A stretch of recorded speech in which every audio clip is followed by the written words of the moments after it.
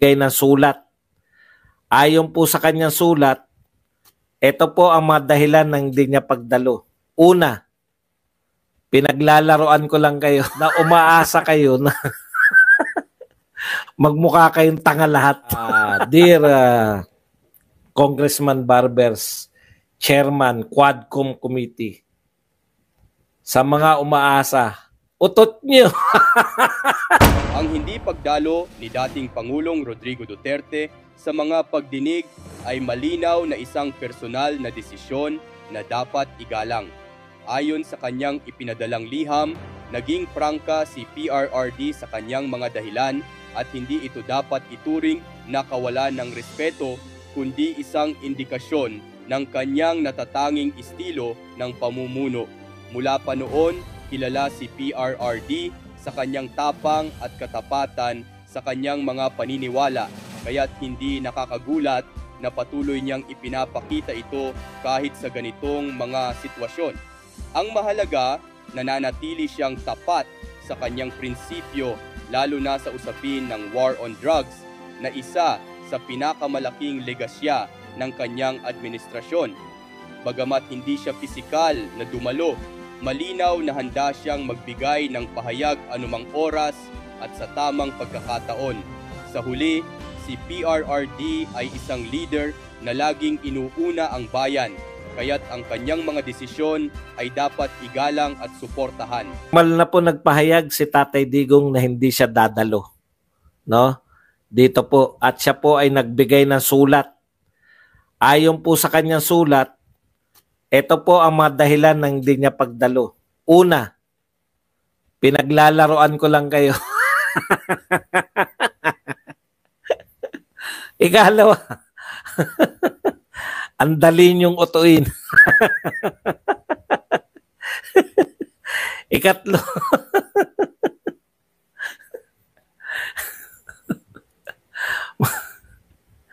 hindi hindi po uh, ano po nag nagbigay talaga ng pahayag yung kanyang abogado no. Ang sinasabi po ng abogado, wag na natin basahin haba pa eh. Ang sinasabi po ng abogado ay uh, hindi makakadalo si Tatay Digong dahil wala naman talaga siyang balak dumalo. Uto-uto lang talaga kayo. Ikalawa, ang sinabi po ng kanyang abogado, hindi talaga dadalo si Tatay Digong, pero gusto niyo lang makita yung reaction niyo na umaasa kayo na magmukha kayong tanga lahat.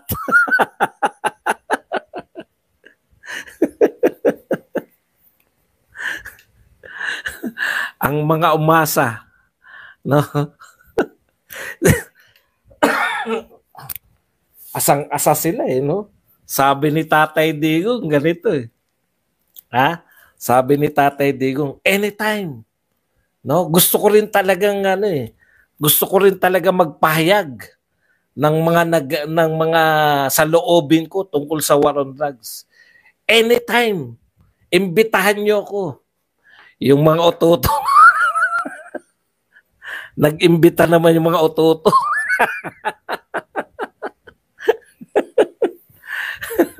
Dapat bukas pa nyo nilabas eh. Kaya, uh, kung ako yung abogado, bukas ko pa eh, di ba? Bukas pa dapat para ngayong gabi, nagpaplano sila, o ikaw, eto ang dialogue mo ah. Eto pupuruhan mo ah. Pag sinagot ni Digong eto, eto naman ang sasagot. Pagkano, dapat pinagplano mo muna na bago nyo sabihin na pinaglalaroan lang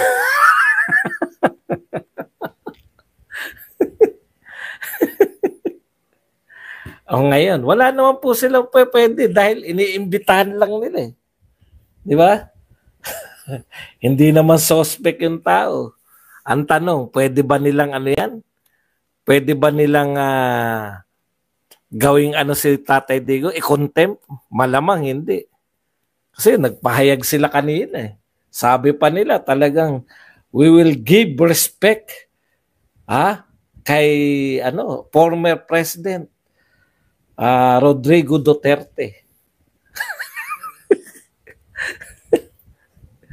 Pero may plano na sila, no?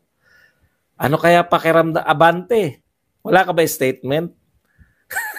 Abangan natin. cool ka lang. Baka yung puso mo, abante. Baka manggigil ka na naman. Sayang. Hindi. Hindi, may pahayag naman po. Formal naman siyempre. Abogado yung pwede bang ganun? Pwede ba sabihin na ano? ah, yung pahayag talaga, ito talaga laman. Ah, dear uh, Congressman Barbers, Chairman, Quadcom Committee, sa mga umaasa, utot nyo. Sabi ng amogado, sa mga umaasa, utot nyo.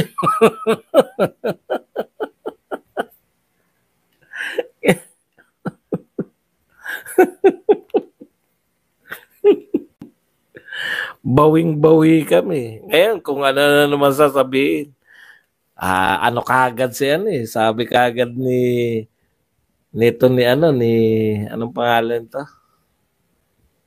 Sabi ni Trillanes. May mga reaction kagad eh. Nakakatawa talaga eh, no? Ito po ang reaction ng mga umasa. Mga patawa eh. Hay nako may na, napaglaruan na naman. Tapos galaiting galaiti sila, di ba? Sabay naglabas ng video si BP Sara, sumasayaw. Habang kung ano-ano, apektado po sila eh. Ah, tignan nyo, wala na po yan. Yung mga 125, mga 11 million, natabunan na po yan. Eto na ngayon, sabihin na nila, ah, walang pagkalang, walang pagkalang. Tama. Ang sakit sa ulo. Alam niyo, sakit sa ulo kalaban ng mga Duterte. Buti na lang kakampi tayo.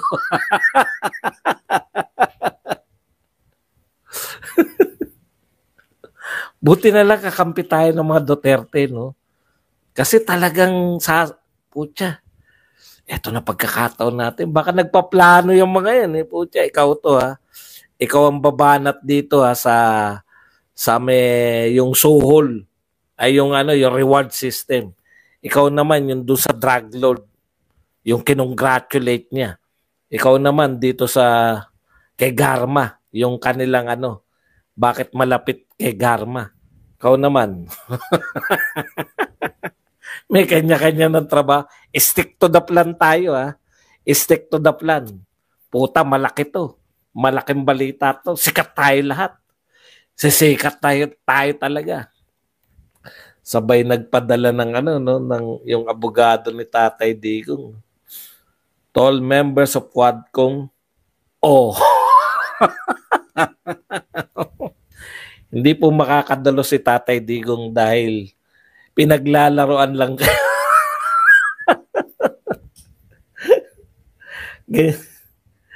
May, hindi totoo yan ha. Totoo po talaga yan. Alam niyo po ba yun?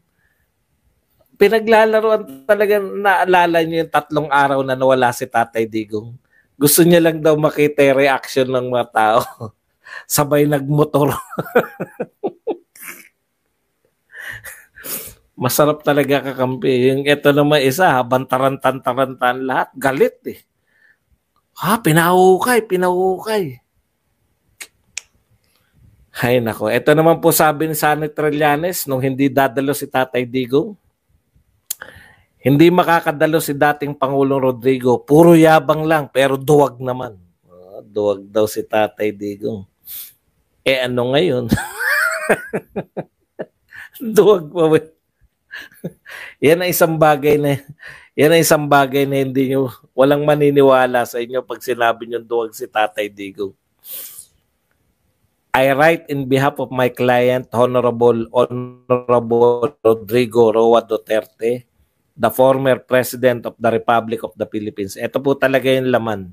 On Sunday, 20 October, that my client received the letter dated October 18, inviting him to attend the public hearing to be conducted by the Joint Committee on Dangerous Drugs, Public Order and Safety, Human Rights and Public Accounts at 9.30 in the morning to provide insight and shed light on some issues under discussion, particularly on the previous administration's campaign on illegal drugs. Unfortunately, despite, despite his keen, keen at intention to attend, ayan ha, unfortunately, sa kasawi ang palad, kahit gustong gusto ng aking kliyente na umatend, my client respectfully no manifests that he cannot attend the public hearing set on 22 October 2024.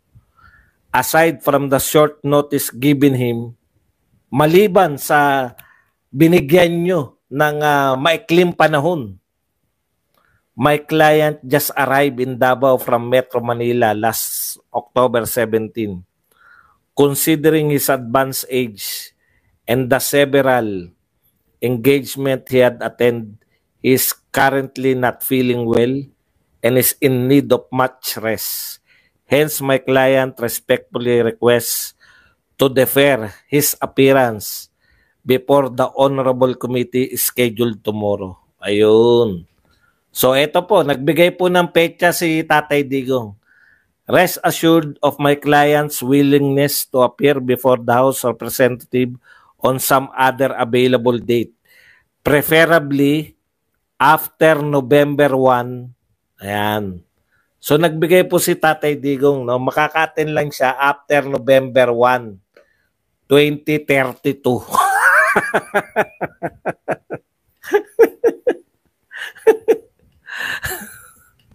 so aatin lang po si Tatay Digong after 1 November 2032.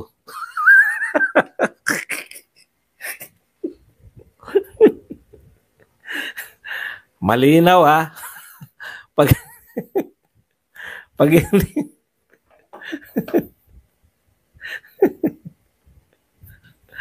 ikot ik ay ano ba 'yon? Mali ah, mali pala basa ko. After November 1, 2028. Ano pala mali. 2028 ba?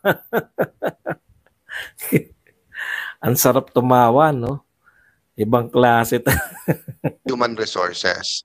And if we take the Silicon Valley as uh, an example, it was really a joint uh, of uh, government, private sector at yung uh, academe. No, that, that's why um, if you see our agenda today, eh, i, and I'll go there muna no.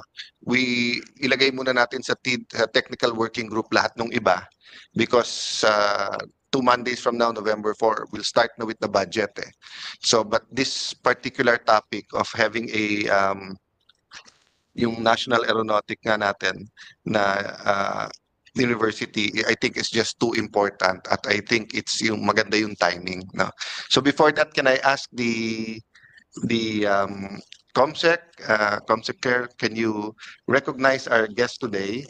After recognizing everyone, we'll just go to um, I, I will just uh, refer to TWG yung ibang mga bill so that we can focus naman dito sa ating uh, main agenda today. Thank you, Mr. Chair, and good afternoon to everyone. Uh, let me acknowledge the presence of our resource persons for this hearing. Let's start with the Commission on Higher Education. We have um, Director Raul Muyong, and Attorney Hazel Mendoza. From the Department of Budget and Management, we have Attorney Trisha Baraan, Attorney Christine J. Duheno, uh, Director Aris Van Sakibal, Ms. Zarina Cristia Alba, and Ms. Joy Rico. From the Philippine Air Force, we are joined by Colonel Pedro Agapito, Colonel Rupert John Estepa, and Major Ulysses Mercado. From the Civil Aviation Authority of the Philippines, we have Attorney Krisha Mariel Simagala. Uh, from the Philippine State College of Aeronautics, we have um, its president, Dr. Marwin de la Cruz. Hello, sir. Um, and he is joined by Brigadier General Isidro Mas Macaranas, um, Mr. Kent Vincent Bacalso, Dr. Maria Cisa de la Cruz, Ms. Darby Esperanzate, Engineer Jack Zairius Zudweste, Dean James Albert Obispo, Mr. Lee Marco S. Mendoza, Mr. Rolf Lorenzo Rabe, and Dean Garly Gonzalez. That's all, Mr. Chair. Thank you. Thank you. Uh, we also have some special guests today. Uh, tomorrow they'll celebrate their anniversary, yung Fellowship of Christians in Government. Niels Reconcilia, President, Chairman Art Florentin, uh, Grifton Medina, the Vice Chairperson, Joselito Talia, Board Member, and Attorney Jeremiah Belica, who also was uh, our Cabinet Secretary for ARTA uh, in the past administration. Uh, welcome sa inyong lahat. Thank you for joining us this afternoon. So, uh, give me two minutes to refer the following bills to a technical working group and, and to create a technical working group. What I'll do is, uh, if the president wants to go first, then anyone who wants to speak, bigyan lang natin ng idea for the record kung ano yung vision nyo for the uh, National uh, Aviation Academy. No? So I think naman in principle, in concept, walang mag-object.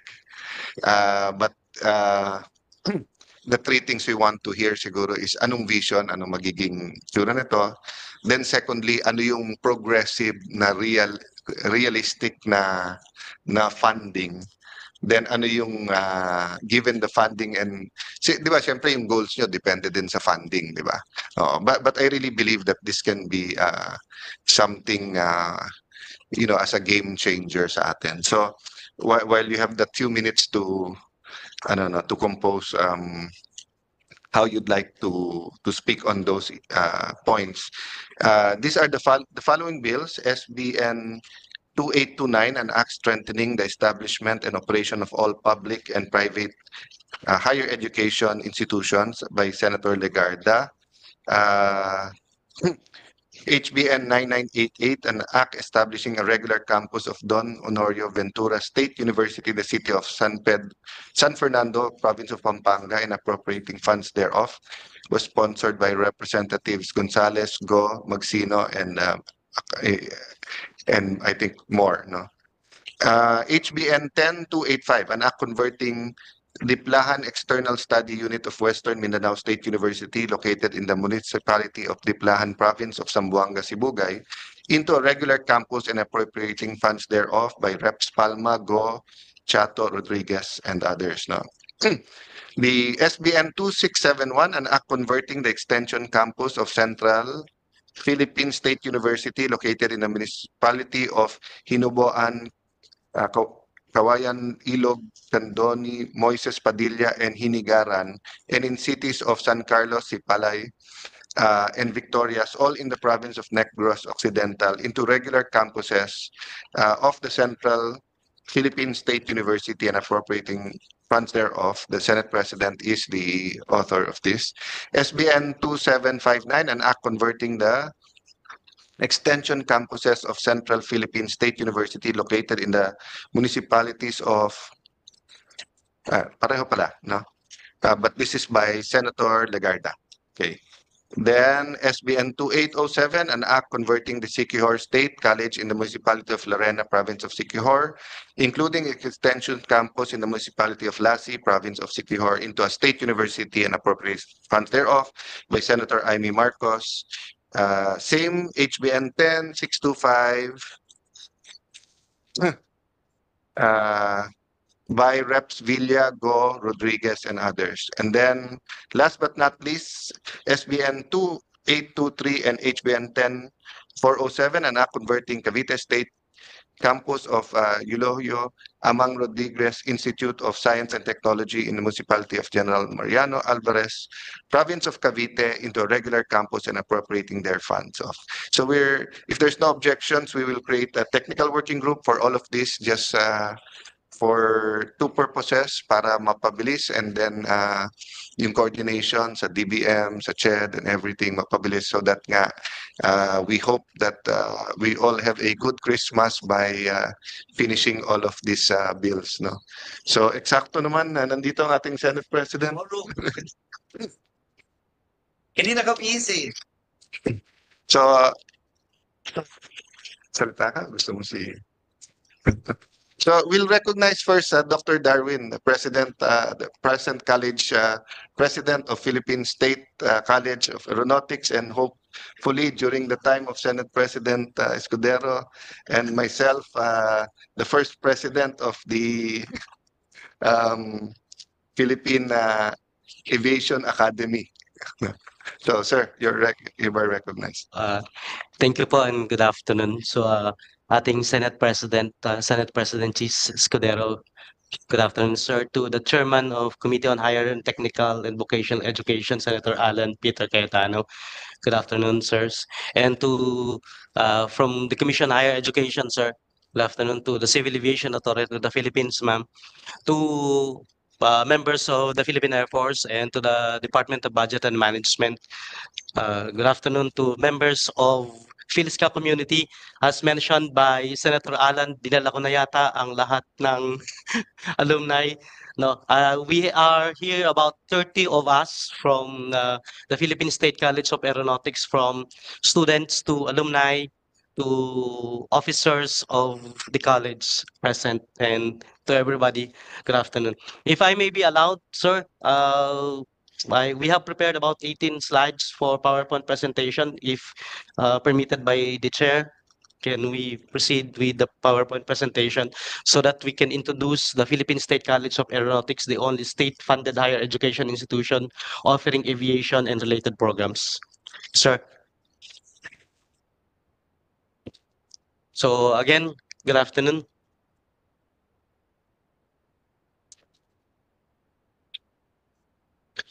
So again, uh, from the Philippine State College of Aeronautics, this is President uh, Professor Marwin M. De La Cruz, the current uh, president of the Philippine State College of Aeronautics. At present, next slide please. Uh, at present, the Philippine State College of Aeronautics is located at uh, nice, uh, located at the main campus at Villamor Air Base Campus, Pasay City. We also have our campus at uh, Basa Air Base Campus in Florida, uh, Blanca, Pampanga. We also have our campus at uh, Fernando Air Base at Lipa, Batangas. And uh, at Cebu, we have our Mactan Benito Ebuen Air Base Campus.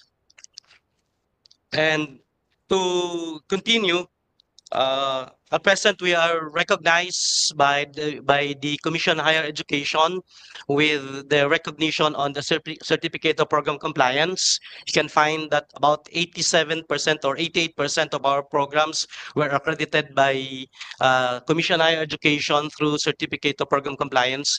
Uh, the only thing that matter is our program at the Ma- Mactan Benito Urban, Urban uh, Campus we have already undergone through series of evaluation and awaiting the Commission Higher Education for the release of the evaluation through uh, Certificate of Program Compliance.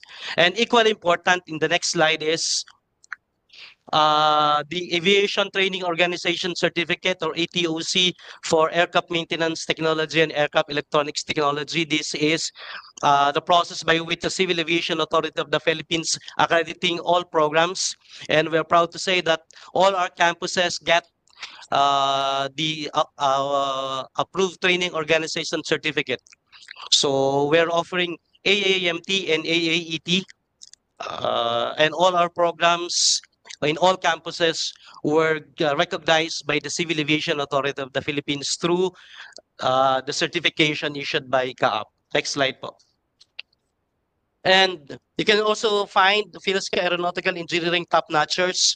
And uh, with reference to private schools, PhilSCA is way, way above the national passing rate. And you can also find in the screen uh, with the top 10 of uh, different years, uh, PhilSCA graduate uh, landed either five to eight in the top 10 Uh, you can find it in the screen. So result from the PRC. Next slide. And we're also presenting our enrollment. No, uh, our enrollment uh, to accommodate uh, absorptive capacity.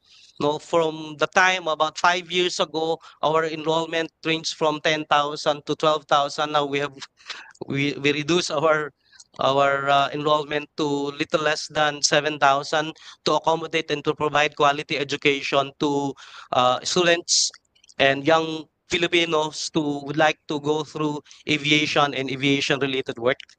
Next slide po. This is our enrollment. Medyo lang po but uh, you can find the numbers on our enrollment, current enrollment. Next slide po. So these are graduate uh, recently uh, when uh, Senator Allen was one of our uh, guest speaker, our, our graduates are about uh, exactly about 2,886 graduates from different programs, from 16 programs across campuses. Next slide po. And with the distribution in the main campus students by region, you'll find uh, half of our population in the main campus came from uh, NCR, but we don't discount also the numbers uh, that almost half of our students came from outside of NCR. We have also from Luzon, Visayas, and Mindanao. Even though we have our campus at Bisa uh, of at uh, Central Visayas or at Cebu, we still have students from Visayas area and Mindanao area in the main campus. Next slide. So when we trace our graduates, we asked whether they have landed a job. From 2014 to 2019, our graduates landed about 81.75% were have landed the job. Uh, you may ask, why is there no tracer study conducted after 2019? Uh, every five years we conduct, but uh, we find it, we find tracing our graduates mentioned by chair uh, because of the rupture, because of the pandemic, it is very difficult uh, to take to to learn or to study whether our students landed a job. But based from our recent data, we have about 32% of our graduates landed a job. Uh, and based from the uh, ATAG and uh, Aviation Beyond Borders that by 2025 or 20 until 2027 there we will find the return of the full uh, operation of our aviation industry next slide please we all, you can also find in the screen professional licenses of all PhilSCA teaching teaching personnel uh, as required by the Civil Aviation Authority of the Philippines. All our instructors for aircraft maintenance technology and aircraft electronics technology should be holder of a particular license uh, issued by the Civil Aviation Authority of the Philippines. And also as mandated by uh, the C- by the Commission on Higher Education all our instructors should should at least those teaching uh, courses that will take license exam should be licensed themselves. So you'll find the distribution of our uh, professional licenses of all PhilSCA teaching personnel. Next slide, please. Also, with regard to area of specialization, uh, about 75% of our instructors and professors are teaching in within the area of specialization. About 25, 21% are teaching uh, general education and another uh, small percentage of this teaching uh, IT related courses. Next slide, And you also see the comparative financial data of the General Appropriation Act from 2022 to 2024. You can see the gradual increase in the budget allocation, no, thanks to the Department of Budget Management and to Congress, particularly the Senate, for taking care of PhilSCA in terms of budget. You'll find the increase in the budget. The, the highest uh, allocation is given to professional uh, to uh, personal services.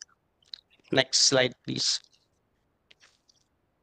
And uh, not on the screen also is the performance of uh, Philsca in terms of uh, performance in terms of agency performance review. You'll find uh, that was missed in the presentation is we have uh, in higher education program about 87.50% uh, were percentage given to uh, our uh, performance. And with regard to our disbursement rate we have 97.90% on disbursement. And with regard to our uh, actual obligation we have about 99.40% with our, with regard to our performance sa budget. And you also find uh, the trainings we conducted pictures uh, there were about more than 100 trainings conducted for our faculty non-teaching staff and students. Next slide. And uh, this is our infrastructure development. Uh, Thank you also to Congress, particularly the Senate, for providing us uh, substantial amount so that we can provide uh, better services to our students. We have our simulator, we have our turbojet engine, we have our uh, mock-up engines, and we have recently uh, acquired uh, mock-up uh, engine. Next slide, please. And this our number of our partners, more, than 100 uh, partners uh, in the aviation and aviation-related industry. And yan po. Thank you po for listening to the Philippine State College of Aeronautics. Thank you, Dr. De La Cruz. I'll withhold my question to later para we'll try to accommodate uh, uh, everyone. Um, if anyone, I don't think anyone has an objection, but some might have concerns whether budget, capability. So air your concerns because yun nga yung purpose natin is to address that before we finalize the, the law. But one thing I'd like to mention is uh, maganda yung timing. Kasi as you all know, uh, November yung Senate uh, plenary sa budget. And then yung BICAM is towards the end of uh, November. So, meaning, even if hindi pa law, ito, may existing tayo na state U. So, we can actually put in the first tranche nung, nung pondo uh, if yun na talaga direction natin. But, um, uh, let, let me put it another way, no? Baka stories are more powerful. ah several several years ago siguro mga 10 years ago naman may- maybe around 2013 11 years ago uh, my wife Mayor Lani attended the World Cities conference uh, hosted parati yan ng Singapore. So I think parang one year sila in New York or other than one year in Singapore. So we she sumama ko we attended in uh, Singapore. Sinamahan ko lang siya. At the time parang mayors lang plus one so sila. And during their break times, I think it's a three-day conference if I'm not mistaken, may mga break sila tapos pwede silang mamili kung anong gusto nilang makita sa Singapore. Ang pinili ni Lani, yung pinaka-test na nila. Okay. Gulat na gulat siya kasi pagdating niya dun sa test na nila, uh, aeronautics uh, maintenance, and then there was an A320 or A220. Basta it's a 220 or 2 or 320 series. So sabi nila, ganito na yung test na palang nila.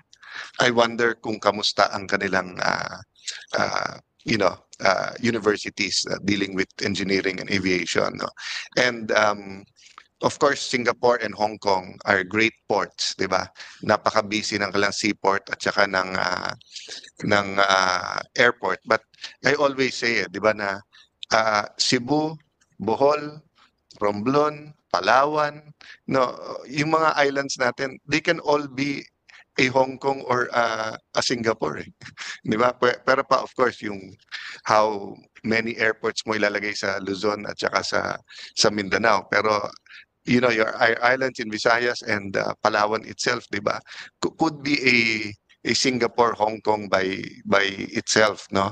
So the the way I'd like to if I can use the word sell, di ba? Kasi we're we're marketing this not only to pass the law but to make sure funded yung law and to make sure we attract uh, partners uh, here, di ba? I mean, kung maging partner mo either yung San Miguel and the new airport sa sa Bulacan or maging airport uh, maging partner nyo, sino mang private na nag invest sa Clark Airport or ito sa rehabilitation ng NAIA, di ba?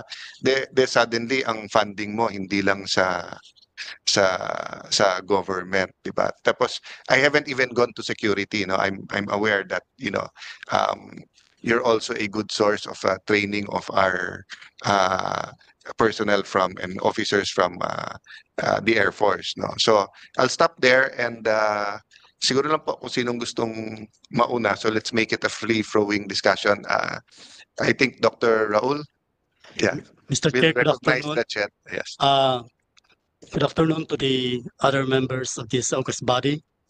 The Commission on Higher Education uh, interposes no objection to the intent of the bill, declaring the Philippine State College of Aeronautics as the national professional institution for aviation, renaming it as the National Aviation Academy of the Philippines and appropriating funds thereof. Provided that, of course, uh, all programs, the undergraduate and graduate programs offered in all its regular campuses comply with the policy standards and guidelines of CHED and GAAP. Uh, as mentioned by our president, uh, 80% of the programs have already been issued a certificate of program compliance by the Commission on Higher Education. But of course, there are still uh, additional campuses that they'll be uh, putting up. Also, Mr. Chair, We'd like also to suggest in section thirty-seven, the implementing rules and regulations. Uh, we would like to suggest to include CAAP here. And the statement would say, within sixty days from the approval of this act, the board shall, in consultation with the Commission, Higher Education and the Civil Aviation of the Philippines, issue rules and regulations to implement its provisions because it's not included in the bill, Mr. Chair. That's all, Mr. Mr. Chair.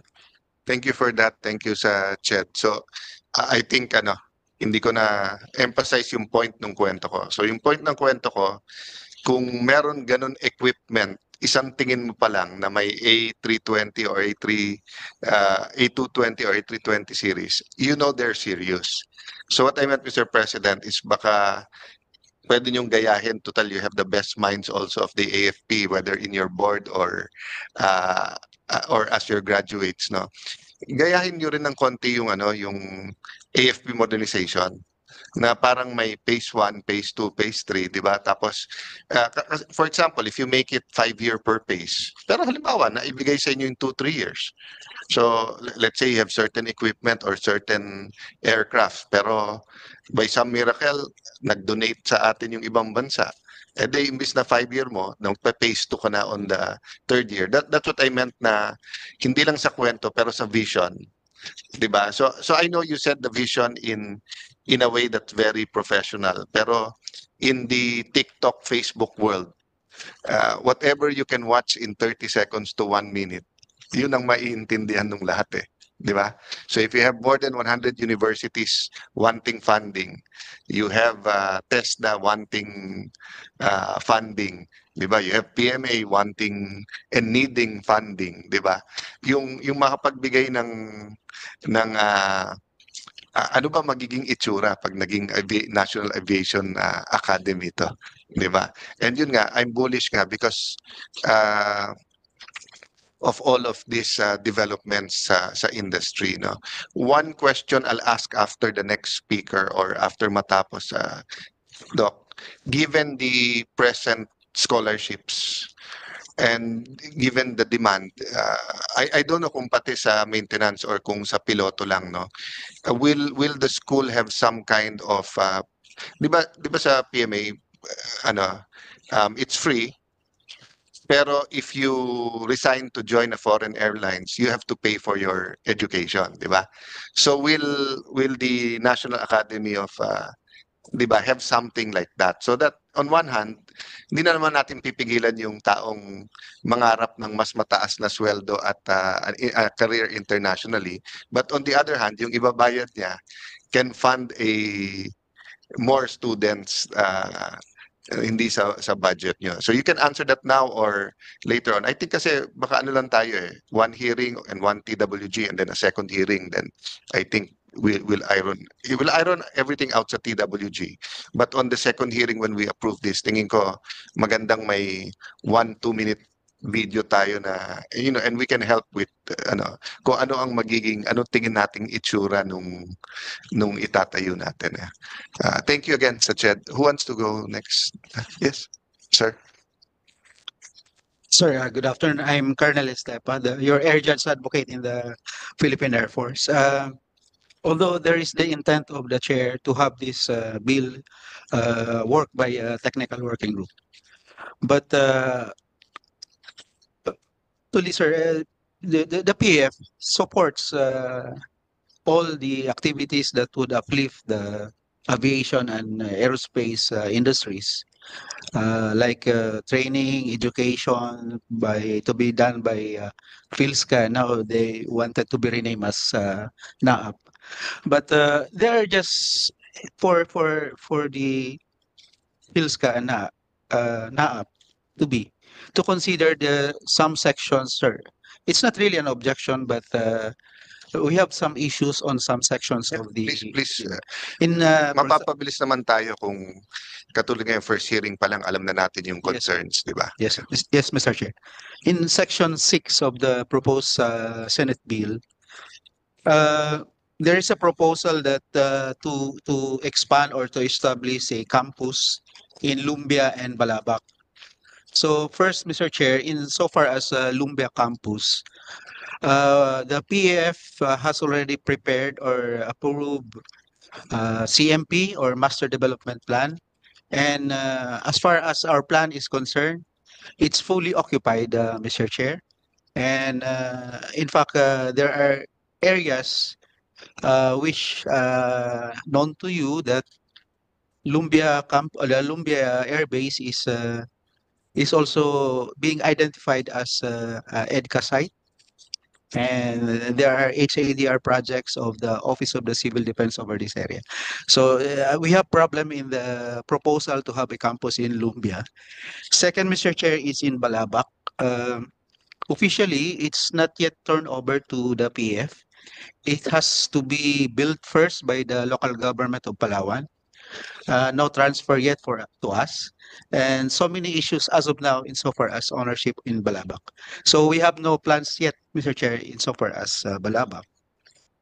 And finally, Mr. Chair, in section 30, if uh, can consider to maintain the status quo, because as proposed, Mr. Chair, is that those occupied areas by PhilSca uh, be owned already by the NAAP. But uh, with due respect, uh, insofar as these five bases, uh, there's no problem with the Villamor because uh, the Villamor campus is already outside the the area of the PF. Then there is a mention about uh, Sangli campus, but there's no such uh, campus uh, existing. So it's uh, an issue about Lipa, BGD Biap, and uh, Basa. Uh, as arranged, uh, Mr. Chair, when before be- before this institution beca- became uh, reading about the EAP regulations, those presidential decrees before and Republic Acts, uh, it, it the it has transformed uh, now, which is now PhilSca, but uh, nothing in those uh, provisions of these laws that uh, gave uh, ownership over the land to to to PhilSca, but uh, the arrangement is basically is more on uh, uh, collo- collocation. Uh, it's more on uh, use of rock, Mr. Chair. Yeah. If uh, just to consider this matter, if uh, if we can maintain the status quo instead of ownership of. Thank, uh, thank you very much for that, Colonel. Ako nasasagot nung opinion ko dun sa mga nauna. uh, just to move forward later sa TWG, no? So, if we leave uh, blank the provision and just allow the board to add uh, campuses, so parang may free hand kayo, meaning if in the meantime ma-negotiate nyo and one reason or the other you find uh, uh, room in the specified, di ba? Kasi i- eh, tama ba yung pagkaalala ko, Dr. De La Cruz Marvin, na we, nung graduation, tinanong kita kung meron ibang state U na nagse-specialize sa aeronautics and tama ba sa CHED na walang So, so Lance, Yeah. Ka- kasi 'di ba kung kung dalawa, tatlo, apat and then ikaw ang gusto maging national aviation. Syempre you have to prove na ah, bakit ikaw yung national kung tatlo, apat. Pero kung kayo lang naman and then ang ganda naman ng standards, dalawa kasi yan eh, yung kayo lang ba, pangalawa maganda standards mo. Kasi kung kayo lang, pero pangit din yung standards, eh bakit nyo pa idadamay buong Pilipinas at sasabihin yung national kayo, tapos ang sama pala nung, nung mga statistics nyo, whether sa licensure or sa sa employment no? But since kayo lang at maganda naman ang ang ang quality so i think naman um parang bonus lang if you can already put in the law certain areas where you have permanent uh, uh, what they call these um, uh, campuses. Pero even if we leave that blank and just give the board the authority to negotiate, etc., for or even uh, usually you can even buy, eh, di ba? Uh, so having said that, kasi we have time naman before the second reading sa floor to negotiate with the uh, Air Force, di ba? Kung kung meron nga, okay. Doon sa third sa own, I I hear you, and uh, in fact uh, under the BCDA law, kung magdi-dispose ng land ang AFP, nasa BCDA, hindi biglang bigay to someone else. So maybe I can propose lang that the present board look into the wording. Halimbawa uh, if acceptable sa baka Colonel pwede mo rin i-consult sa ano no sa uh, higher ups kung acceptable na may use of rock dun sa existing. Pero maglagay tayo ng time kasi so that they can plan 'di ba? Kasi the reality is ah alam mo, sinabi mo, rock. Tapos after 10 years, uy, may gagawin dito, alis na kayo. Hindi rin naman sila makakatayo. Pero pala mo, sinabi mong if it's a 25, renewable 25, alam nila that they have 25 years to look for, ano, have, having said that, I'm, I'm determined to, and committed to help you look. So, kung katabi din lang naman, or for example, no, ako, I'm very partial, I don't know if you have a campus in Clark. Di ba? Kasi that's, uh, I think 28,000 hectares. And uh, alam mo, you, you mentioned EDCA, no? one thing about the Americans, uh, ano ba yung Fort Bonifacio, McKinley, and then nabanggit mo Pasay, and then uh, yung Villamor. I think they were 19, pa nine, baka 1898 or 1901 yung mga yan eh. Uh, Basta during that time, di ba? But even during that time, they look at the US embassy din, di ba? Marunong ang ano eh, the American government, the American military knows how to pick the best real estate eh. Di ba? Medyo magaling silang humanap. So, except for Pinatubo who who can predict naman that, but even in the scientific ano, it's every is it 100 years or 200 years? So, ibig sabihin, uh, or 500 years, I'm, I'm not that sure, but ibig sabihin, we're really pushing also uh, Clark. But I do understand, sir, that you want presence in Northern Luzon, you want presence in uh, Mindanao. Tama naman yon kasi i- i- the reality is it's still very uh, hard for families to uh, to send their children to highly urbanized uh, uh, areas. No, but I don't think it affects the bill naman kung uh, yung present campuses ay may use of rock tayo ng whether you say 25 or 50 whatever and then ganon, di ba? But sir, siguro ang isang magandang i-discuss sa Air Force. Actually, ito yung binubulong ko kay Senate President kanina. If you remember during the time na uso at maraming coup, no? Uh, in the 70s sa Latin America, tayo it was uh, 80s rumors then 90s, 'di ba? Eight, late 80s and then uh, 89 was the bloodiest but after that may even during the time of President Arroyo may rumors or may 'di ba may galaw nun sa Marines there was a proposal by a congressman na gayahin na yung sa US na may West Point, may Annapolis, 'di ba? Yung hindi ah, kasi sa atin Air Force, Army, Navy lahat na sa PMA. So I binubulong ko lang kay ay- kay ano kay Senate President while maintaining the present Kasi one thing that did change is nagkaroon ng PNPA, di ba? So after a certain batch, wala nang PMAer na nagpupulis. So may PNPA na tayo, may PMA. But ang nangyayari kasi ang PISCA is parang the de facto ano eh ah, 'di ba source din nung nung Air Force. So ang point ko doon Colonel is that um, just like EDCA na although we did, do not have a law for foreign bases but we did approve uh, yung pakikipagtulungan sa longest ally natin US if you treat the National Academy as something like EDCA 'di ba na uh, and I don't know Dr. De La Cruz maybe you can make adjustments na pag nasa bases siya more towards joining the military yung yung outlook 'di ba kasi nga ang- ano kasi yung alternative 'di ba alternative is ah sa PMA wa- may PMA ba ho dito sir sir ah, sorry sir hindi ko ito Can you introduce yourself Ah, sir, ah, Colonel Agapito po, sir. Colonel ano anong year kayo ba pumipili o yung AFP o raffle ba yung kung anong sasalihan niyo kung Army, Navy or Air Force? Ah, sir, before, sir, ah, ah, kanya-kanya, ano, sir, ah, depende po kung anong gusto, sir. But ah, when the new curriculum was introduced, sir, during our time, I graduated, sir, 96.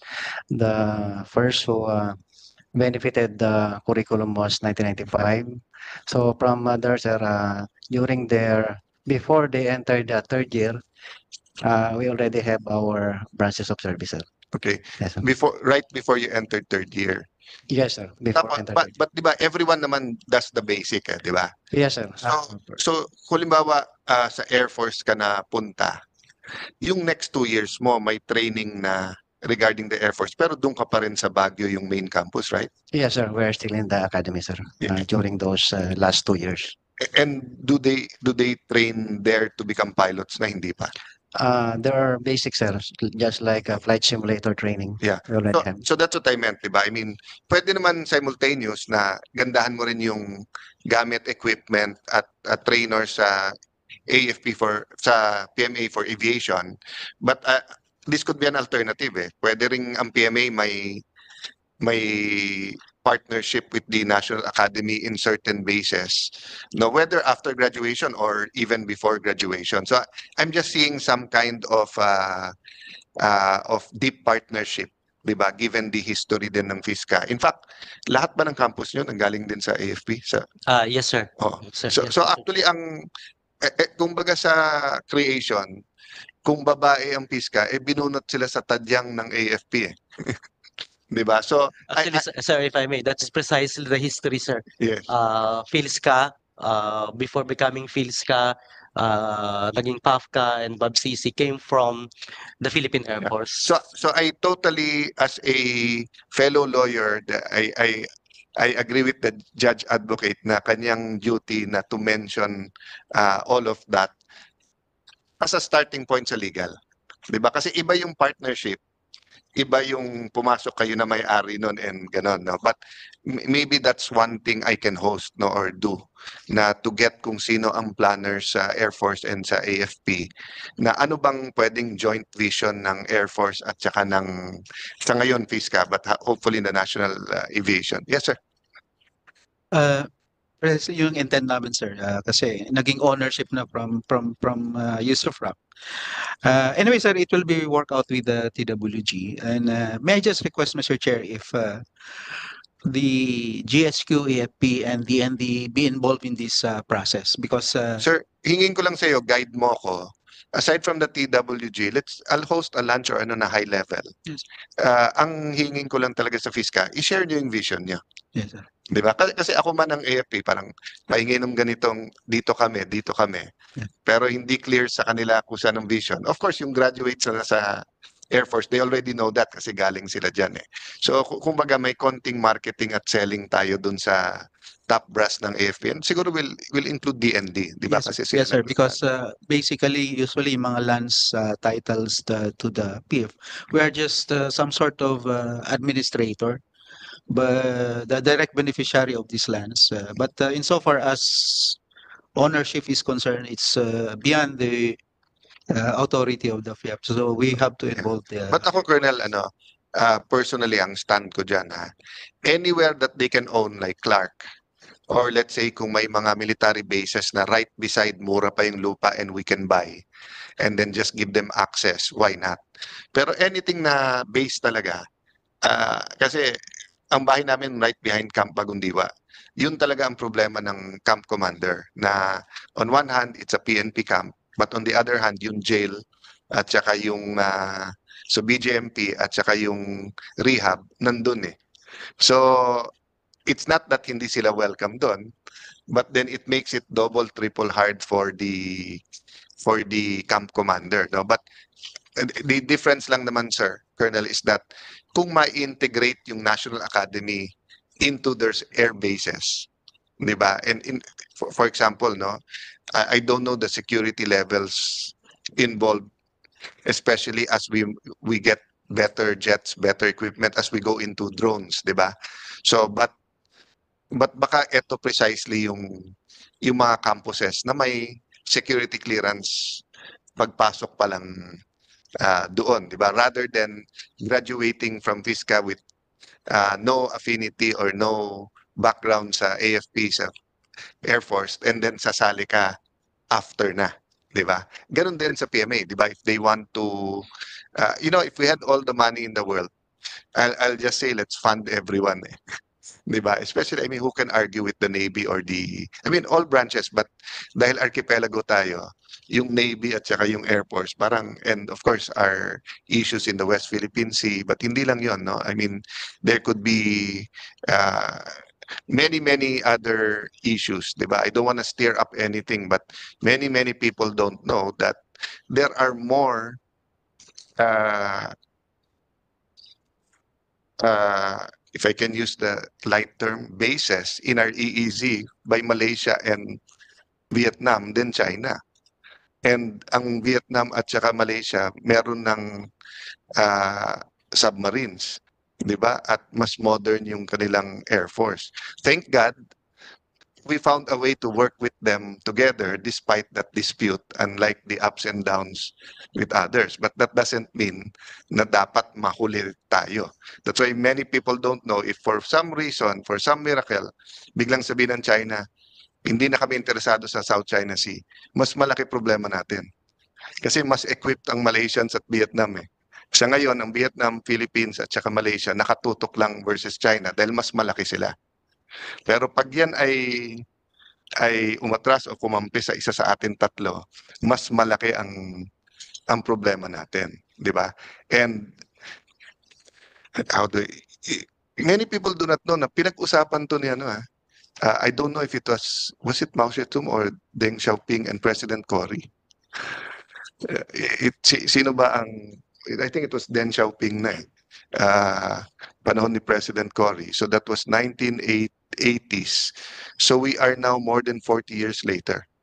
So whatever we do with uh, FISCA and the Air Force and the bases, hindi na po tayo ang makakakita ng consequences noon 40 years from now. Well, kung may dugong enrili tayo, makikita pa rin ah, natin 40 years from now. But uh, if we are the average life expectancy of uh, 75, uh, 80, maybe yung younger ones here na lang ang makakakita. So I, I just want us to, Colonel, I, I thank you and tama na bringing up mo dito. I just want to to to parang emphasize na ka- kasi ang daming bills talaga na elevating from college to university, from ganito to national. Uh, and, and it's all good. Pero yung impact ah, hindi generational. Pero pag naayos natin yung ating naval at saka ang ating ah, aviation na academies, I think yung impact the next 25 to 50 years will be ah, tremendous. No? So anyway, Colonel, thank you for that. And uh, we, siguro, uh, General Macaranas can also help me who are the right people in uh, the DND and AFP na we should, before we go to the higher level, we'll do the technical side. Yes, sir. Ah. Yes, sir. Oo. Hindi na kasi ako updated din sa EDCA. eh. So, ah, yung siguro guidance din, Colonel, ano iilagan natin doon at ano yung pwedeng sumama. Or we can also ask DFA. Uh, do, do you have ano? Do you have any partnerships with any American university or with the US? Uh, we do have our partnership sa Canada, sir. Sa, Why don't you reach out to the US embassy or to the DFA? uh, yes, sir. Ka- ka- Kasi 'di ba kung EDCA yung isang concern, eh baka naman mapasama kayo sa sa EDCA din. Sir, uh, last June, I was with uh, uh, the, the Director Muyong, uh, funded po ng USAID uh, to see the development of uh, aviation, particularly sa Arizona, saka sa uh, Harvard po. Uh, since uh, galing po ako, I, I, I got a uh, certificate program po from Harvard uh, School of Governance. sir. One thing about the US military, grabe din ang kanilang ano eh, ah, pananaw at saka yung civil relations. So they they really look at potential allies eh. And what better ally than a a national aviation ano do on on the EDCA. So let, let's take a look at that, no? Anyone pa? Uh, sir, uh, Favorite may, ko mamaya na si Attorney Tricia siya parang napapadalas ikaw at sanang dumalas yung yes may pondo rather than uh, may concern. Ah. uh, sir, uh, Mr. Chair, tumupong ko dun sa tanong ng uh, yung issue ni Colonel John dun sa rock. We do have our of rock particularly sa ating campus, sa Fernando Air Base Campus sa Lipa. That was in 2018 when it was given to us for a 25 year renewable of another 25 and instead of uh, getting our our gate at the main gate ng Fernando Air Base we were provided with another gate in in the side yung tawag po yung decent gate. So all education uh, that become the education hub.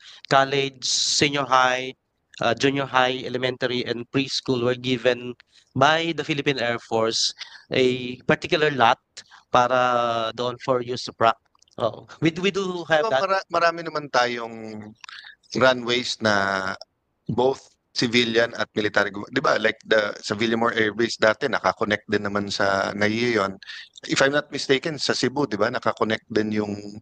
So, meaning, kung ganun na yung sitwasyon na... Kasi iba yung purely military at high security, tapos lalabas-pasok ka. But iba na yung meron na silang partnership with a civilian, then idadagdag mo lang yung National Academy, di ba? So, I think it's a matter of identifying muna. But, but you know, we should, so, I'm one of the sponsors and advocates ng National uh, Academy for Sports. So, it's like a boarding school to get, uh, para bata palang matrain. But sabi nga nila, one of the, one of the uh, challenges is na homesick. So I, I I don't know Colonel Agapito kung you even had the luxury ma-homesick nung sa PMA kasi every day as a survival nung plebo ka eh, di ba? Oo, di ba? I mean, walang choice eh, di ba? Either you survive or not. So, you know, despite the fact uh, uh, President Dar- Marvin na we'd like to have campuses everywhere, the reality is with the money and equipment, mag you'll pick two or three na dun muna pagandahin then in the future na yung yung yung iba eh. So ibig sabihin may konting tiis din in leaving their hometown and studying. Baka what we can do is kulang yung campuses, eh ayusin yung dorms. Di ba? Mm. Anyway, we'll will even yung ano yung master planning, di ba?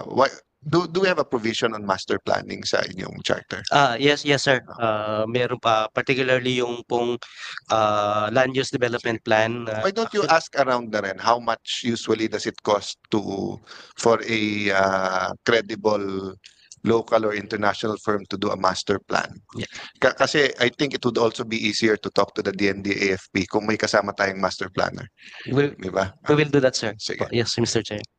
Uh, sir, an- another thing, uh, PCDA works with a lot of master planners just because of the nature eh. So baka we can also So yung with regard to yung uh, pilot course natin, we do have our initial discussion with uh, AETDC. Uh, sa, eh, this is uh, under ng uh, Fernando Air Base. Yung pong, kasi yung graduate po natin ng pilot course, meron na sila kagad na twe- 200 hours. May license na po yun, both uh, private pilot, commercial pilot of about uh, 100 hours, yung, CP, yung PPL natin about 50 hours, tapos merong uh, instrument rating and multi-engine about another 50 hours.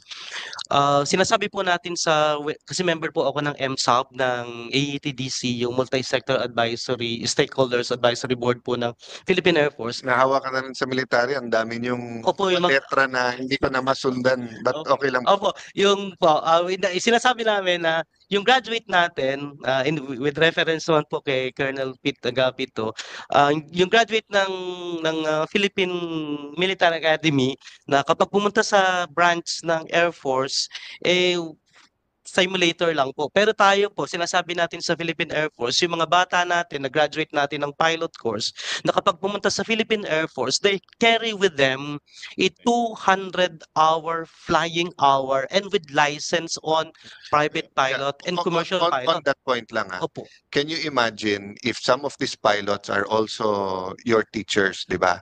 Or some of your uh, personnel ma-allow ng US who are main supplier of the planes, ma-allow din ma-train on that planes. Talagang magkaka-synergy talaga eh. So that's why I'm, I, I, I'm, it's less the legal that I'm excited about, more of the, the actual na sa training. But ang pagkarinig ko naman kay Colonel, hindi sila nag-object sa use of rack, etc. Nag-object lang na biglang ownership. And it's a natural reaction because um, many people are looking at the bases eh.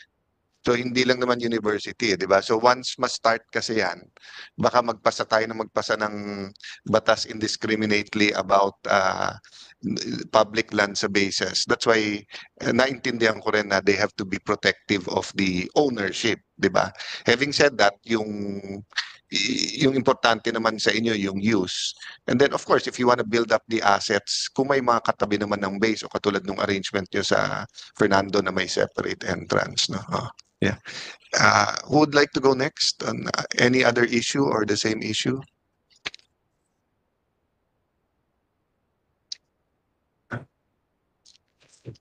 Go ahead, uh, DBM. Pero yung Yes. initial kwenta, hindi pa yan ha. Kasi Yes sa PWG, I really want them to, actually yung kakaabot lang sa akin eh, may fleet ba yung ng aircraft ang PISCA? Kasi I'm not saying we'll buy them a whole fleet, but that's why I'm saying talaga mag-usap ng both ng ating local airlines at saka ng ah, ng AFP. Yes, our favorite DBM, Attorney Baran, please. and our colleagues from the government.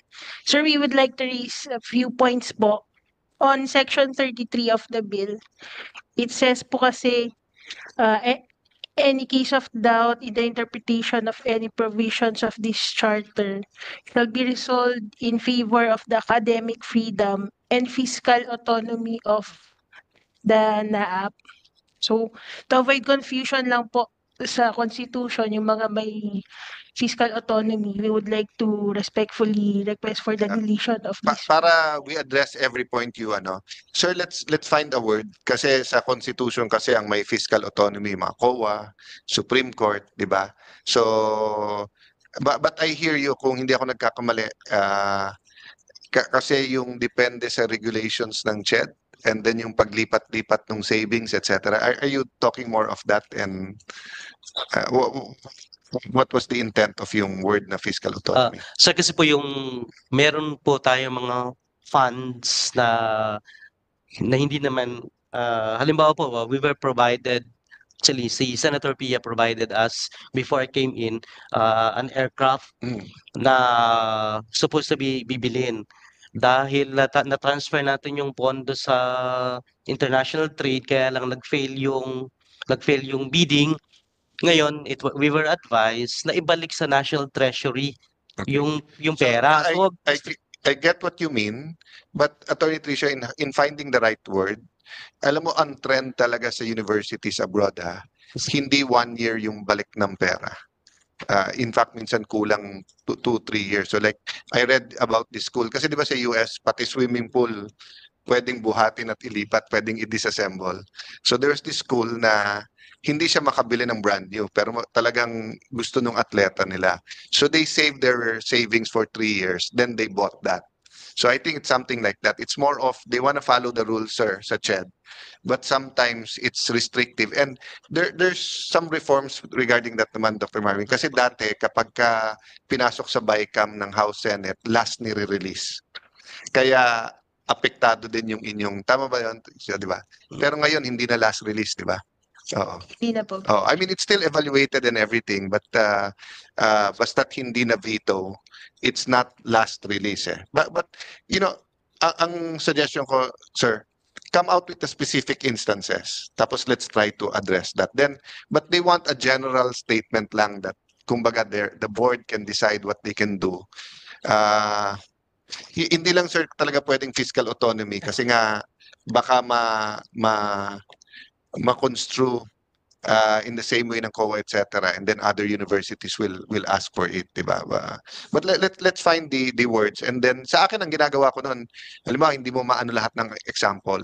Lagyan mo ng general na pwede, pero lagay mo na subject to the rules and regulations of whether it's CHED or COA or whatever, di ba? Oh, Noted po on that, Okay. Mr. Chair. But thank you for that observation. Opo. And then, sir, Mr. Chair, on section 9 po, it's, it says on paragraph 2, uh, it shall allocate uh, one slot for admission of its Bachelor of Science Air Transportation and Bachelor of Science in Aeronautical Engineering in every region, recommended by the Regional Development Council. So, uh, uh, initially, we think that it, it is not the mandate of the RDC to recommend, but we defer to NEDA and also the members of the council if they will uh, regarding this provision po. Sige, let's look at that, sir. And uh, as usual kasi, di ba, if you put a political office recommended by the governor, by the may, may aangal dyan eh. So, it has to be a, a, a body. But I see the intent, even Singapore, di ba nung una, ayaw pumasok nung Chinese Singaporean sa police at military eh. So they had to have some creative, they had to use their basic education, they had to, you know, ano na, ganyan. So tayo kasi, di ba, we're one Philippines, but we're also regionalistic. So it would be good to be well represented then, especially dito sa highly coveted courses. So le- let's ano lang sir, sinong, uh, or you don't want it by exam na lang or whatever? Ano bang ano niyo dyan? Ah, Sir, uh, Mr. Chair, meron naman po tayong ano, uh, policy on admission. What we intend here is that we would like to give opportunity uh, for each region to have pilots and aero engineers. Kung nakita niyo po yung uh, data kanina na presented, dahil ang aero engineering and pilot course were offered only at the main campus dito po sa Pasay, eh ang nakakakuha talaga ng ah, greater slot ay nasa Luzon at nasa nearby area and NCR and nearby area. So we would like to democratize po sana. Well, two things sir about that. No, sorry to cut you off. But one, I don't think naman may problem sila na per region. It's really more if you if we keep adding to the duties ng RDC, baka one day mahaba na yung listahan ng gagawin at baka mag-away din yung governors doon or kung kung one slot lang no? But but secondly one way to do that sir is talagang more scholarships eh. Ka- kasi aside from mas affluent yung nasa highly urbanized city doon na sila nakatira 'di ba? Kaya kung mo sabihin mo from the outskirts of Iloilo or from Batanes malaki talaga gagastusin niya pagka lilipat dito eh. But if you have a uh, if I can use the word loosely, affirmative action, na pagka yung one slot sa ganito, mas maganin yung scholarship mo, baka mas maraming pumasok talaga. Oh. Sir, if I may, uh, dun po sa main campus, pa, to address po yung possible uh, accommodation from far flung areas, nagtayo po tayo ng uh, dormitory to accommodate naman po. Ito, this is uh, an example of our affirmative action. Yes, sir. I, I, I recognize that. I'm just saying na kasi ang studies is 30% lang yung tuition eh. 70% is everything else. But even if you provide the 70%, so let's say if you provide the dorm, the food, and taga Metro Manila, So pag na homesick yan, isang jeep lang yan o isang LRT, nasa uwi na, di ba? Pero yung if you're from Mindanao for example, kahit na Christmas at birthday lang nung nanay mo ka uuwi, it's still a boat, it's it's it's still, di ba? Uh, or a airplane ride. So ang susi doon is may may cash ka talaga ng every instance that we gave additional cash or gamit sa estudyante, bumaba yung dropout talaga eh. No? But a- anyway, just to address that point. So, you, you're not objecting naman to the regional, ano, no? It's just that uh, RDC ba ang may trabaho nito? Ah, yes sir, kung papayag po sila. Yeah. Sige, DBM na lang or- magre-recommend ng region.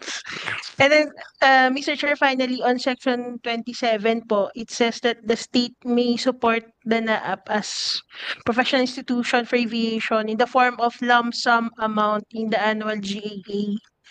So, since ang appropriations naman, provision naman po natin ay in the GAA po, we respectfully recommend na madelete na to and then any funding po na kakailanganin ni NAAP or ni PhilSCA will be sa uh, depende po sa budget proposal po nila and will be evaluated po. Let- Let me ask, sir, what was the intention of this one?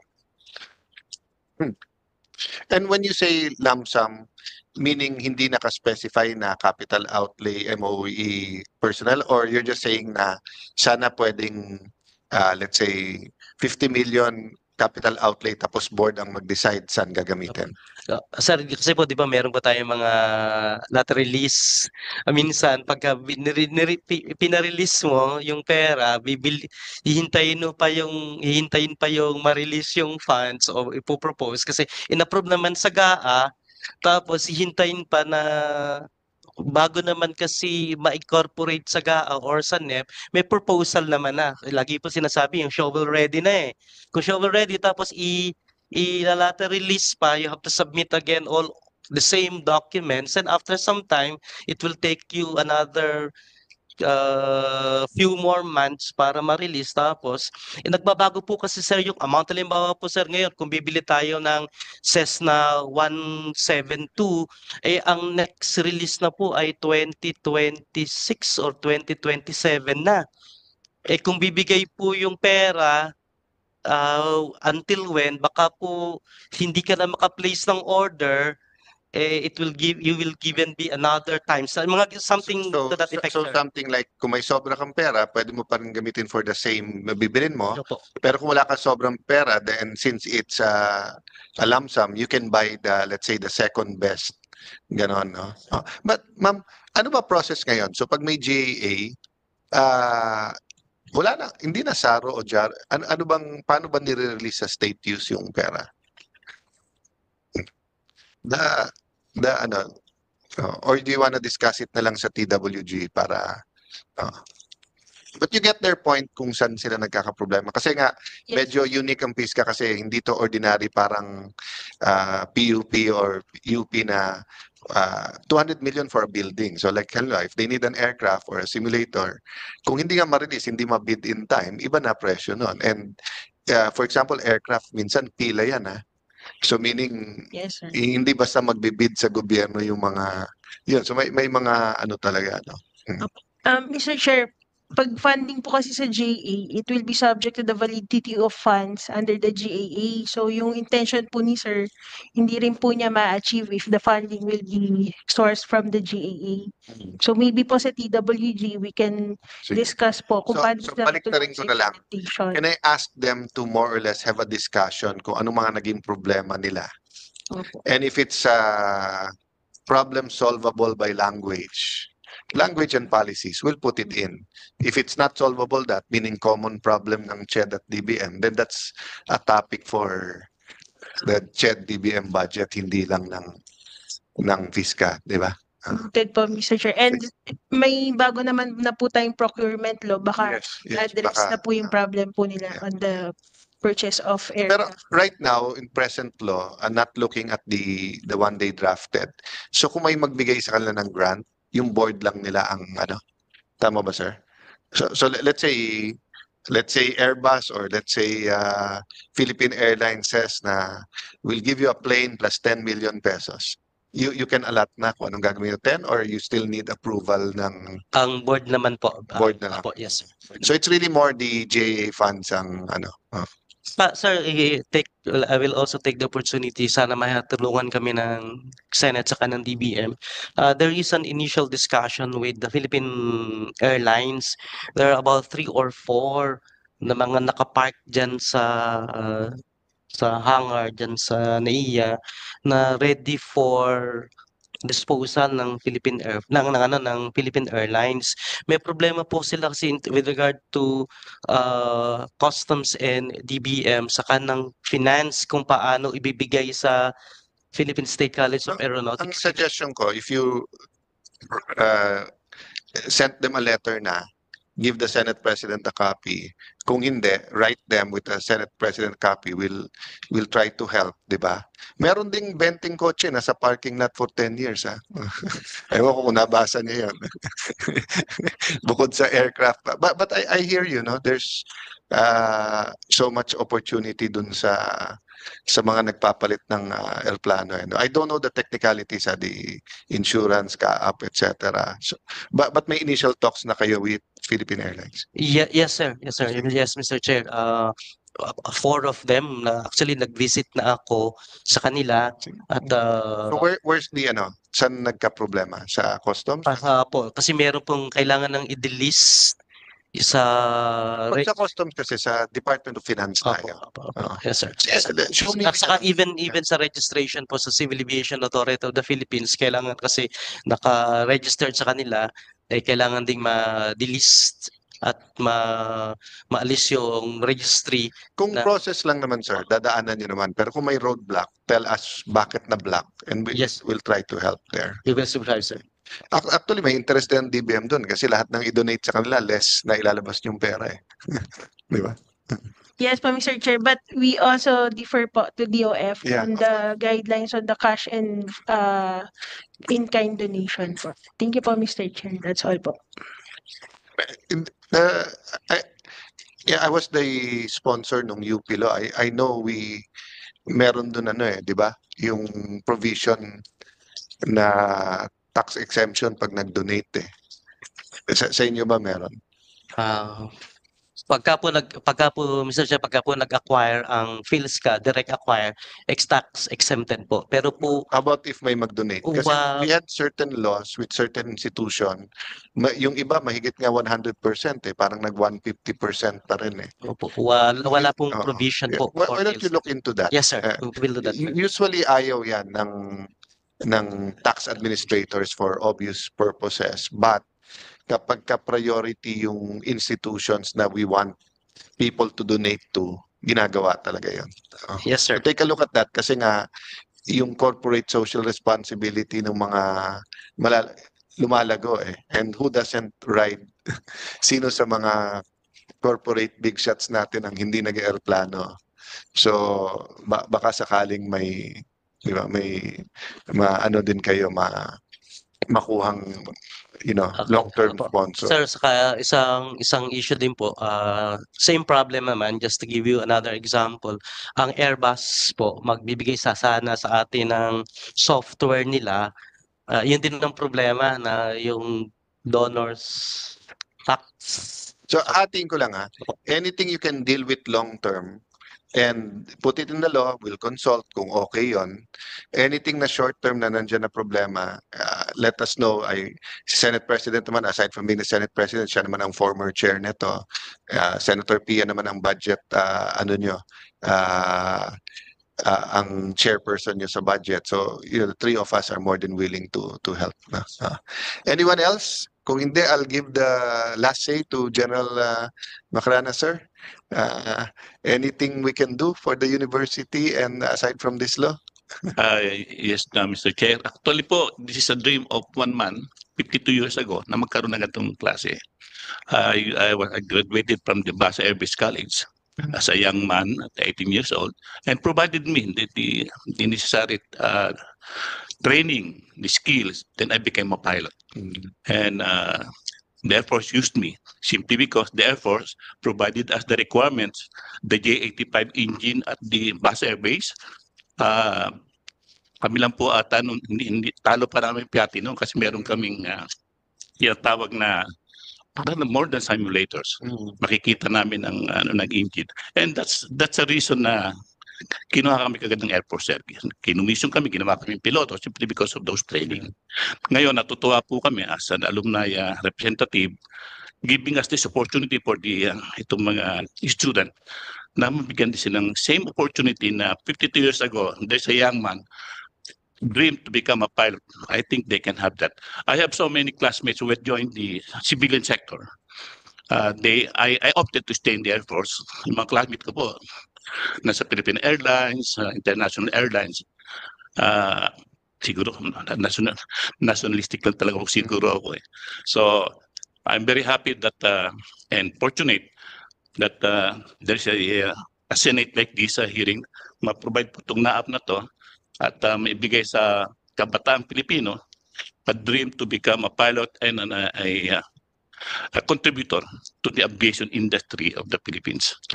Sir, thank you for that. And siguro that's a good point to end on. And uh, yung konti ko lang insight sa sinabi ni Sir. Di ba pag, pag bata ka kasi, gusto mong magawa talaga lahat eh. Pero may konti pang self-interest yun kasi nakikita mo sarili mo doon. Di ba?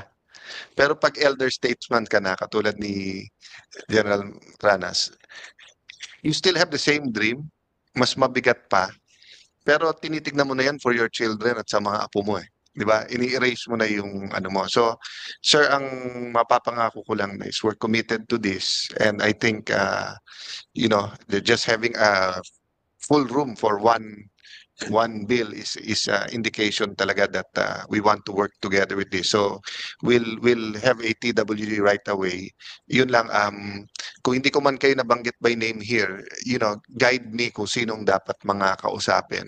But I think we can put something together na may synergy talaga. You know, there there's value in ano eh in yung so halimbawa nung sinabi ni President Duterte build build build golden age. In reality ha mas malaki na yung budget ng ng uh, DPWH at saka nung bill ngayon. But just by proclaiming that ito yung entry ng golden age ng pagbi-build may momentum eh.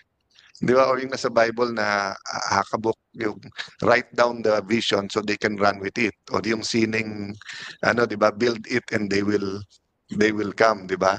So I, I think, you know, if you market this talaga as parang, uh, you know, that having this university has this academy will be part of the golden years of avi- Philippine aviation. You know, we might not see it right away, but baka two, three, four, baka five years. Grabe na yung ano yung yung pasok pati yung yung funding no. Oh. So siguro the last point na lang is sir na give us din some ano or I'll ask also my staff and the secretariat. Let's do some pencil pushing sa aviation industry at saka yung sa balik sa atin. 'Di ba? Sa bawat graduate mo, 82% may trabaho. High paying jobs 'yan eh, 'di ba? So 'di ba kasi the reality is finance people, we're dealing with the budget, eh, so we're dealing with finance people. So ang tinitingnan din nila yung return on investment. So if we can show them na win-win to sa national security, win-win to sa economics, win-win to sa regional integration, sa transportation and everything, 'di ba? Mapapabilis yung hindi lang pagpasa but yung I, I think you know, with, with the objections or the concerns, workable lahat eh. So mas concerned ako na mapondohan uh, at you have the materials to really launch the academy rather than passing the law. I think passing the law will be the the easy part, di ba? It's really uh, setting up the academy in the way that you envision it, getting the the partners, getting the the instructors and everything. uh, uh. So I I won't uh, adjourn. I'll suspend lang. Um, yeah. Ang kaap nandito din po. Ma'am, do you wanna ground us or do you want to give the last say uh, for today? Yes, good afternoon, Mr. Chair. The Civil Aviation Authority of the Philippines interposes no objection to the proposed measures establishing the National Aviation Academy of the Philippines. CAAP recognizes that these measures will provide quality education and enhance access to training facilities for individuals pursuing a career in the aviation sector and will contribute significantly to developing a skilled workforce that meets the growing demands of the aviation industry. In line with this, CAAP would like to emphasize the importance of ensuring that NAAP's programs align with both the National Civil Aviation Regulations and international standards to guarantee that the educational programs and training courses adhere to globally recognized aviation standards and operational benchmarks. Ultimately, CAAP expresses its full support to the initiatives and respectfully recommends the approval of the subject bills. Thank you, Mr. Chair. Thank you for that. I, you know, I'm very happy kasi usually pag magkaharap na ganyan, tapos panay abogado kaharap nyo, ilan ang abogado dito? Si Colonel, si Attorney Tricia, si Attorney Hazel, Attorney Christian, nandiyan pa si Attorney Jeremiah sa likod sa akin. Usually, ano yan eh, madaming objection eh. Di ba? But uh, as you could see, no, I think everyone wants this vision to happen, but we just have to yung fine points, no? So may I just ask uh, all those na nakapagsalita today, take a second look din sa sa law kasi I think uh, you know we we can find the right uh, uh, amendments if I can use that word to to do it. So thank you everyone for spending the afternoon here in the Philippine Senate. Uh, we will adjourn and uh, we will pipilitin po natin na mapabilis to lahat. So the the hearing we will not adjourn sorry thank you may abogado din sa likod ko uh, mga uh, may isa abogado doon uh, we will suspend the joint hearing uh, but we will include also this bill in the technical working group. Uh, we'll create a technical working group uh, and pr- pr- probably will create, uh, may I informally call it like a coffee club uh, to talk. At sa naging isyong ito, ano ang iyong naging reaksyon? Maging malaya sa pagbibigay ng iyong personal na opinion sa comment section.